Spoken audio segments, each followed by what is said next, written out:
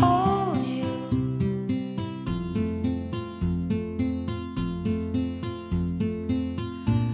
Your sister says that I'm no good.